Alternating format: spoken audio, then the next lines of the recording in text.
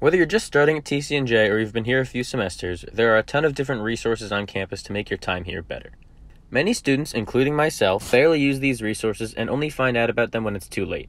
I want to introduce you to a few of these resources so that you can properly utilize them and have the best experience here at TCNJ. The first one that I think everyone should be using is the Center for Student Success. At the CSS, it's their job to make sure that everything is going smoothly in your academic career. The center was established to provide all students with access to personalized coaching and advisement with the goal of strengthening their academic performance and promoting student success and retention. If you're ever struggling in your academics or in need of guidance, this is where you're going to want to go. With personalized academic coaching to help students adapt to college and teach them skills, there's a lot of really valuable information they can give you. One thing I definitely recommend is setting up semesterly appointments with them to make sure you're on track to graduate on time and put together your schedule for the rest of the semester. When researching for this video, I actually came across something I didn't even know we had here that would have helped a lot, which is subject librarians. Depending on your major, you might be doing a lot of research yourself, and these librarians can come in handy to make sure that the process goes along easier.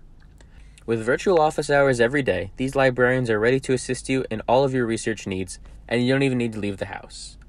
You can call them, send them an email, or go to their live service chat to answer any questions you may have. We all know that college is expensive, and it might be hard to drop tens of thousands of dollars to attend the school every semester. If you're in need of a temporary position, TCNJ offers student employment for anyone trying to make money on campus. Whether it be tutoring, IT, athletic training, or in the mailroom, there are a variety of different jobs that all work around your class schedules. It's made very convenient for students, and while you may only be making minimum wage, it's still money in your pocket. College can be a very stressful time with so many different things going on so I strongly recommend you take advantage of counseling and prevention services while you can. CAPS encourages students to attend to their academic, personal, physical, interpersonal, social, or spiritual needs and provides a safe, confidential, and supportive environment for them to do so. While it isn't therapy, they offer brief counseling which focuses on the issues or concerns at hand for the resolution of a particular problem. If they think continuous therapy can help, they will recommend you to an outside provider to get you any help you may need. They also have 24 7 free teletherapy crisis counseling, which could really help students if they need it. With other support systems like anti violence initiatives and drug and alcohol support, CAPS is dedicated to keeping students at their best. It might not be something everyone needs, but I think it's very important we all know about these services.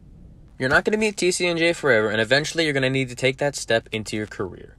By far, the most underutilized resource on campus is the Career Center. There, they are doing everything they can to prepare you for the brutal world of job hunting.